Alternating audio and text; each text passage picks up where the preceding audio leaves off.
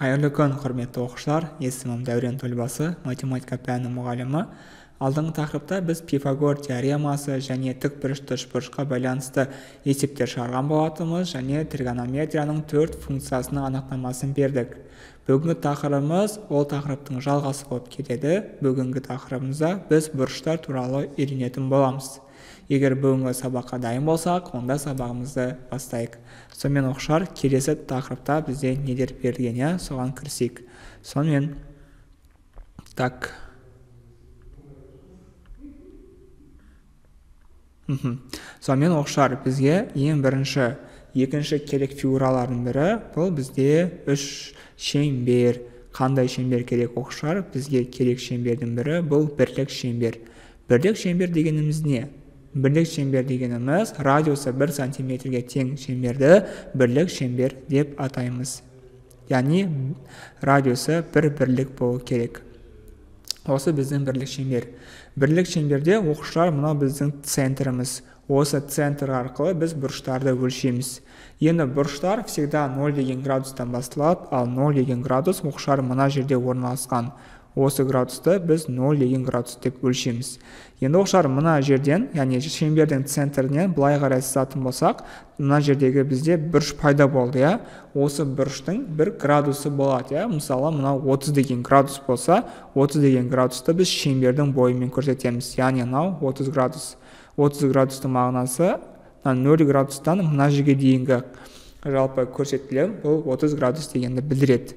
Мысалы мына жерге келетін болсам бұл менде 45 градус болады иә? Мұнда келетін болса мысалы бұл 60 градус көрсетеді. Яғни мына жерден мына жерге дейінгі қашықтық 60 градус деген білдіреді. Мынау менде 90 градус. Яғни дәл ортасынан келетін болсам бұл менде 90 градус дегенді білдіреді иә? Жақсы яғни біз оқушылар осы нәрсені бірінші білуіміз керек. Сонда 90 градус дегеніміз ол мына жер болды. Келесінде ары қарай тоқсаннан кейін 120 150 деп кетеді. Мына жерге келген кезде бұл 180 градус болады. Себебі 90-нан қайтадан 90 жүрді. Мына жерде 200 210 220 250 деп мына жерге келген кезде оқушылар бұл 270 деген градусты білдіреді. 280 300 310 330 деп және оқушылар бір айналып келген кезде оқушылар 360 деген градусты білдіреді екен. Сонымен оқушылар егер де сағат тіліне қарама қарсы жүретін болсақ біздің бұрышымыз сағат тіліне қарама қарсы жүретін болса онда біздің бұрышымыз оң бұрыштан бастап саналады екен иә сағат тіліне қарама қарсы жүрсек. Сағат тіліне қарсы қарсы жүрген кезде біздің градустарымыз барлығы 10 градус болады. Мысалы маған ә, қандай градусты табу керек? 250 деген градус табу керек. 250 деген градус оқушылар ол 180 мен 270-тің арасында орналасқан. 250 деген примерно осы жерлерде орналасқан иә? Мынау менде 250 градус. Мысалы маған 330 деген градус керек. 330 деген градус 270 пен 360-тың арасында орналасқан. Мысалы 330 деген ол 360-қа жақынырақ орналасады иә? Міне біздің 330 деген градусымыз. 300 градус бола берсін. Жақсы. Енді оқушылар енді сағат тіліне қарама қарсы жүретін болсақ біздің градустары сағат тілімен бірге жүретін болсақ онда біздің градустарымыз ә, теріс градустар болады яғни минус градустарды қабылдайды енді соған байланысты қазір шеңберден көретін боламыз. Мынау біздің шеңберіміз әрине енді идеально болған жоқ бірақ оның өзі де болады әрине 0 градус деген ол мынау. Енді қараңдар біз төмен қарай жүрген кезде бағытымыз сағат тілімен бірге болған кезде біздің градусымыз теріс бола бастайды. Мысалы мына градус бізде минус 30 градус болады иә? Минус 10 минус 20 минус 30 минус 40 минус 50 минус 60 және мына жерге келген кезде оқушылар нені көрсетеді? Минус 90 градус көрсетеді иә? Минус 120 минус 130 минус 150 мына жерде мысалы минус 160 мұнда келген кезде оқушылар минус 160 деген градус 160 емес 180 градусты көрсетеді дәл солайынан оқушылар көтеріле берген кезде мына жерге бізде минус 270 деген градус болса минус 280 минус 300 иә минус 320 330 деп бір айналған кезде оқушылар минус 360 деген градусқа біз қайтадан айналып келеді екенбіз. Енді сұрақ мысалы 360 қана градус бар ма? Одан да үлкен градустарды табуға бола ма деген сұрақ. Иә мысалы 500 деген градус ол орналасу мүмкін бар ма? Иә оқшар ондай градус бар. Бірақ оны біз қайдан білеміз? 500 деген градус оқшар ол былай. Яғни 0 градустан бастап біз жоғары қарай көтеріліп 90 180 270 360-қа келген кезде келесін ары қарай жалғастыра береміз иә? 500 деген градус ол оқшар ә, мына жерден 360-тан кейін оған 90-ды қоссаңдар 450 450-ден асып мына жердегі 1 градусқа келеді иә примерно 500-ге дейін келеді. Мына жаққа өте алмайды. Себебі келесі градус бұл 540 мына жердегі градус. Неге 540 екенін біліп тұрмын. Себебі каждыйына мен 90 қоса беремін мынау 360 болса бір айналып келетін болса тағы бір 90 қоссам мына жер менде 450 болады. Тағы бір қосатын болсам 540 болады. Яғни 500 деген осы жерде орналасқан бір бұрыш екен. Жақсы осы мәселені аңғарып алуымыз керек. Дәл сол секілді теріс градустарға байланысты. Мысалы минус 380 деген қайда орналасқан? Минус 380 дегеніміз біз арт сағат тілімен жерге жүреміз. Минус 380 минус 270 минус 360 минус 380 дегеніміз оқшар мына төмен нөлден чуть чуть төменірек болады иә? Осы жерде орналасқан болады. Жақсы. Теріс градустарды біз анықтай аламыз оң градустарды біз анықтай алады екенбіз. Енді оқушылар келесі білуіміз керек нәрсе бұл біздің шелектеріміз. Жалпы тригонометрияда төрт маңызды шелек бар. Төрт шелек болып қарастырылады. Бірінші шелек оқушылар ол мына шелек дегеніміз төрттен бір деген мағынаны береді ғой. Біз онсыз да шеңберді төртке бөлдік соның бірінші бөлігі оқшар бірінші ширек деп аталады. Бірінші ширек деп атқанымыз оқшар. Ол мына менің қазір былай белгілеп қойған жерім бұл менде бірінші ширек. Давайте былай жасайық. Чуть чуть артқа жібереміз. Так мен мыналарды просто алып тастай салайын. Біздің бірінші ширекті мен басқаша көрсеткім келіп тұр. Сол бойынша көрсетсем. Қайтадан бір шеңбер сызып. Так мен шеңбер салам ба? Кәні бір көріп жіберейін жақсы бір шеңбер сызып жіберейік мынау біздің шеңберіміз. Мхм. Так енді оқшар жаңа сызықтарымызды сызып жіберейік жаңа оқшар біз осындай біз шеңберді қаншаға? Екіге бөлеміз иә? Ровно төртке бөлеміз. Былай бөлеміз және оқшар былай бөлеміз. Мынау менде 0 деген градус болды мынау менде 90 градус мынау 180 градус мынау 270 градус және оқшар мынау бізде 360 градус бар. Енді оқшар біз төрт ширекті қарастырып өттік. Бірінші ширек бұл дегеніміз мына бірінші бөлігі оқшар мына боялған жер бірінші ширек деп аталады. Бірінші ширекке қандай градуста кіреді? Бірінші ширекке оқшар 0 мен 0 градус пен 90 градустың арасындағы кез келген градустар кіреді мысалы елу болсын алпыс сексен сексен тоғыз деген градус. Бір нөл мен тоқсанның арасындағы болу керек. Бірақ нөл мен тоқсан бұлар бір біріне кірмейді. Ал екінші ширекке оқшар бұл көріп тұрғанымыздай 90 мен 180-нің арасындағы бұрыштар кіреді екен. Ол оқшар 90 градус және 180 градустың арасындағы ширек осындағы градустар жататын болса біздің градусымыз екінші ширекте орналасқан. Мысалы 150 градус қай ширекте орналасқан? Екінші ширекте орналасқан деп айта аламыз.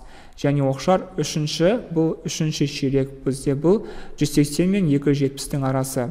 Осында орналасқан біздегі бұрыштар бұл бізде үшінші ширек деп аталады. Яғни ол 180 градустан басталып 270-ке дейінгі градуста алып жатыр. Иә бұл біздің оқшар үшінші ширектегі градустар және төртінші ширек біліп тұрғанымыздай бұл біздің неден басталады? 270 градус пен 360 градустың арасындағы бұрыштарды біз не істейді екенбіз? Қарастырады екенбіз. Енді оқушылар осыған байланысты тапсырмалар беріп көрейік. Ә, мынандай бір сұрақ болсын. Мысалы 210 деген қай градуста орналасқан?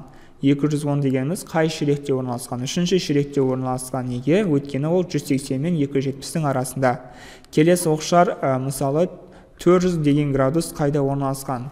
Біз айттық 400 деген градус болады дедік. Енді ол ширектен қалай анықтаймыз? 400 деген градусты анықтау үшін оны 360-ты азайтамыз.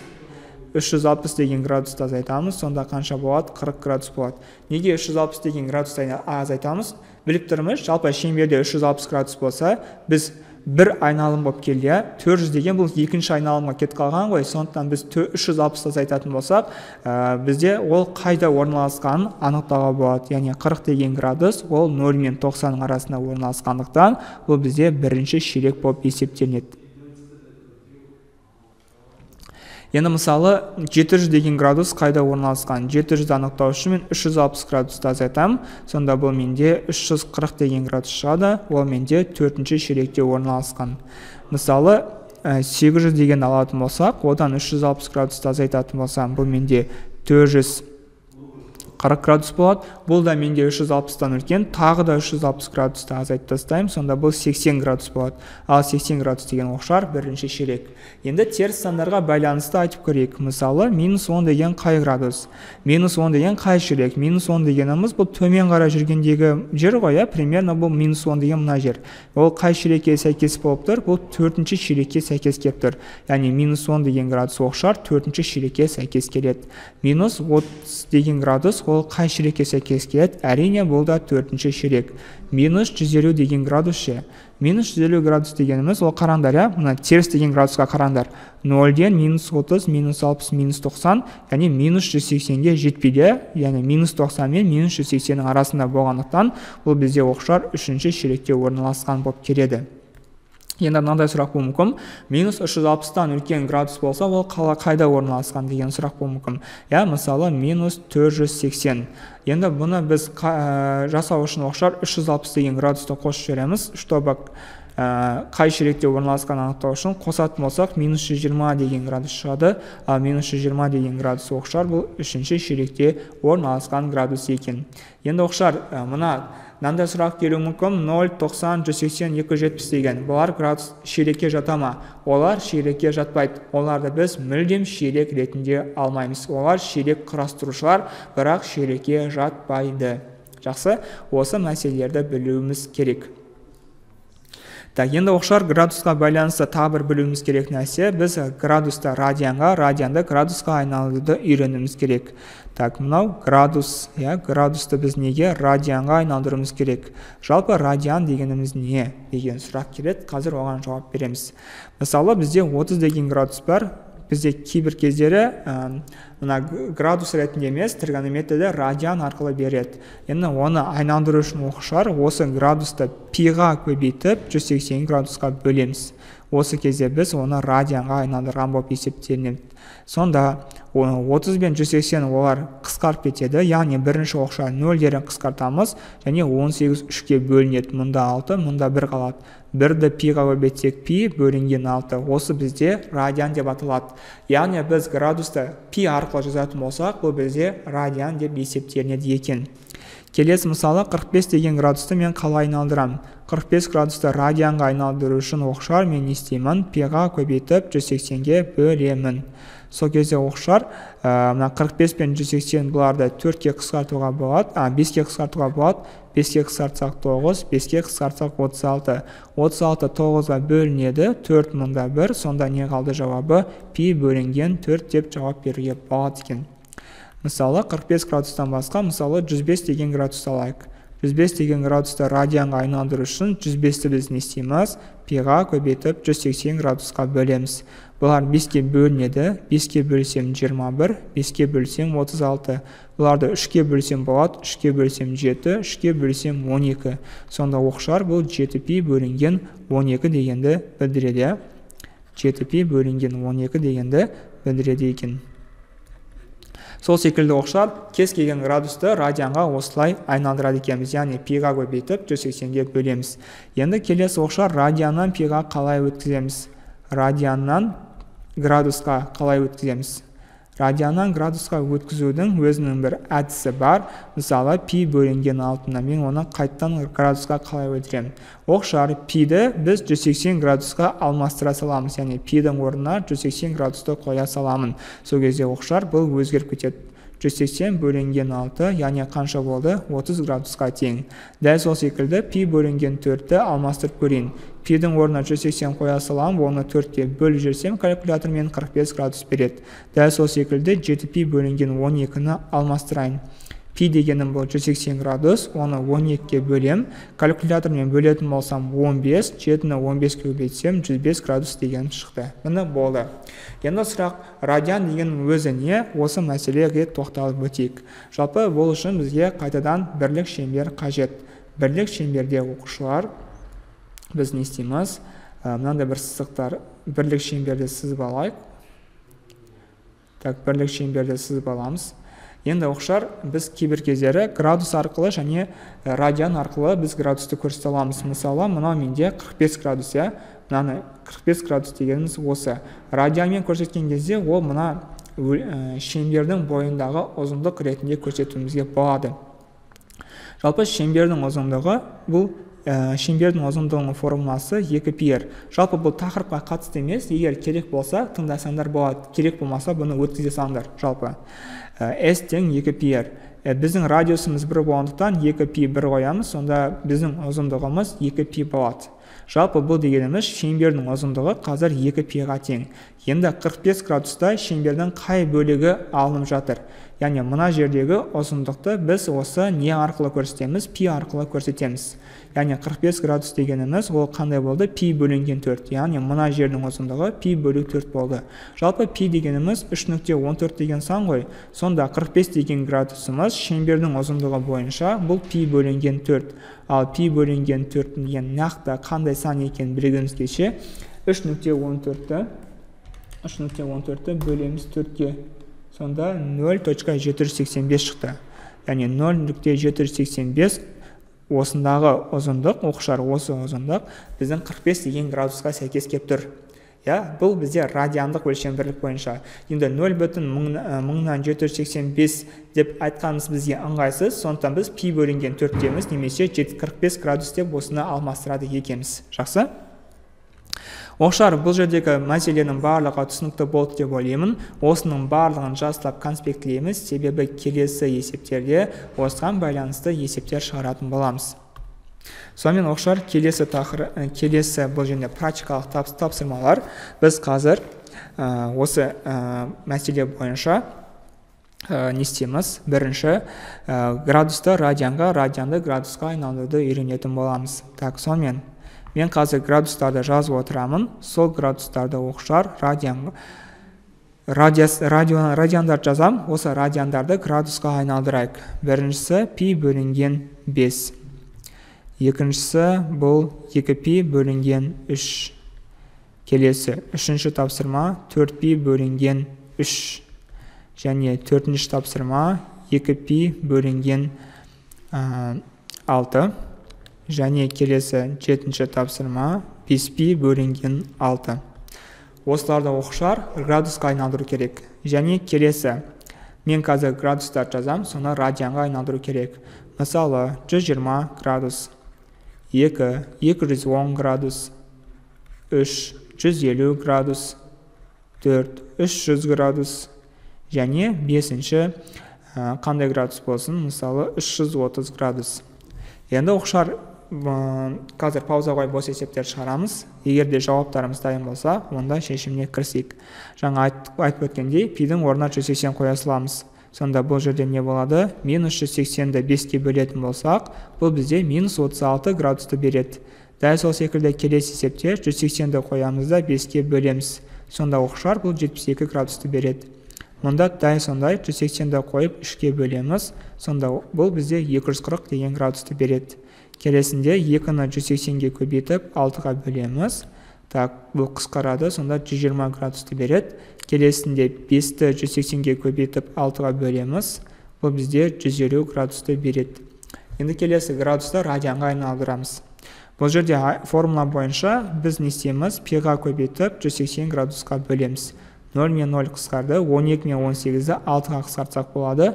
2 мұнда 3 сонда есептің шешімі 2 пи бөлінген 3 дәл сол секілді 210-ды пиға көбейтіп 180-ге бөлемін. Нөлдер қысқарды және 7-ге қысқартамыз. А 3-ге қысқартамыз 7 бөлінген 6 есептің шешімі 7 пи бөлінген 6 так 150 градусты мен пиға көбейтіп 180-ге бөлемін. 2 нөлдер қысқарады және 3-ке қысқартамыз 5 бөлінген 6 яғни есептің шешімі 5 пи бөлінген 6 так 300 градусты мен пиға көбейтіп 180-ге бөлемін.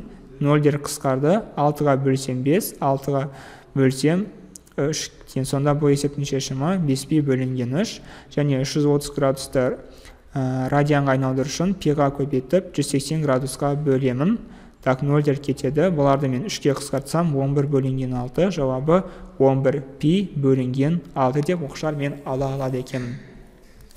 Енді оқшар осыған байланысты ә, келесі практикалық есептер градусқа байланысты. Мен қазір белгілі бір градуста жазамын соның қай ширектер екенін қысқа нұсқа айтып өтейік иә? Бірінші минус 10 градус минус 150 градус минус 210 градус минус 410 градус.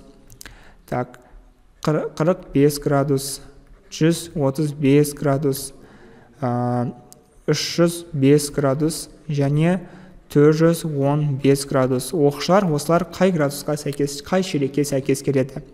Минус 10 бұл бізде төртінші ширек мынау үшінші ширекке сәйкес келеді мынау екінші ширек маған 360-ты қосып жібереміз сонда бұл минус елу болады. Ол бізде төртінші ширек бірінші ширек екінші ширек төртінші ширек және соңғысы 360 градусты азайтып жібереміз. Бұл бізде 40 қанша градус болады? 55 градус болады. Ол біздің бірінші ширекке сәйкес келеді екен. Все оқшар. Бүгінгі тақырыпта бүгін өтілген тақырыптар осылар болды. Осылардың барлығын жақсылап қорытып алайық. Келесі сабақта оқшар таңбаларды айналысуға кірісеміз және ширектердің синус косинус тангенс котангенс функцияларының таңбаларын анықтайтын боламыз.